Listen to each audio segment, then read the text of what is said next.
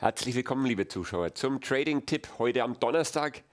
Gestern war Carnival, die Aktie des Touristikkonzerns, wieder ähm, ja, einer der Top-Gewinner, plus 2 Dollar exakt, plus 9,4 Prozent.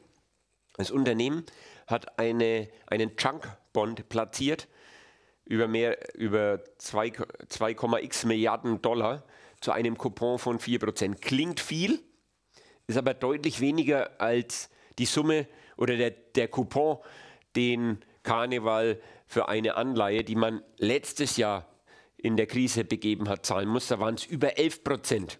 Also die Refinanzierungskosten sinken damit deutlichst und die Aktie ist an, diese, an die 200-Tage-Linie jetzt rangelaufen. Jetzt kommt darauf an, schaffen wir diese, diesen Widerstand, hier auch noch dieses Tief in Verbindung zu überwinden, dann sind wir ganz schnell wieder im Bereich von 25 Dollar. Ja, von, von der oberen Range hier wollen wir mal noch gar nicht sprechen. Zu volatil wird das Ganze natürlich auch sein, weil mit dem Vormarsch der Delta-Variante hat man natürlich die Sorge, dass auch wieder die Schiffe im Hafen bleiben müssen.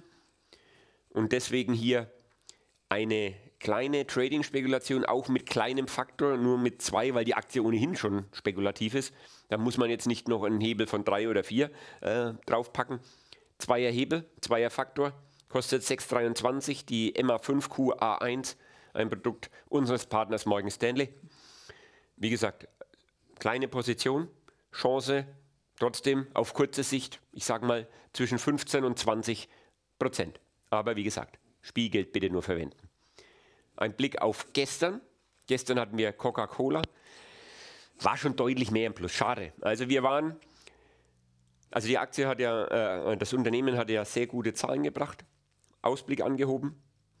Neues äh, Hoch auf äh, Intraday-Basis, auch auf Schlusskursbasis sind wir auf ein neues Hoch raus. Das muss jetzt bestätigt werden. Aber wie gesagt, wir waren, wir waren schon höher gewesen. Der Schein so im Bereich 27, 37 auf der Geldseite. Wir haben noch ein kleines Plus. Ich würde mal den Schein laufen lassen. 60 Dollar 13 etwa ist das Allzeithoch. Da fehlen 3,5 Dollar. Und die sollten wir doch in den nächsten Wochen auf jeden Fall mal schaffen. Und dann ähm, dürfte der Schein eher im Bereich 8, 8,20 notieren. Und das ist so das Ziel, das wir hier mit diesem Faktorschein verfolgen. Das war's von meiner Seite. Gute Kurse. Bis morgen. Auf Wiedersehen.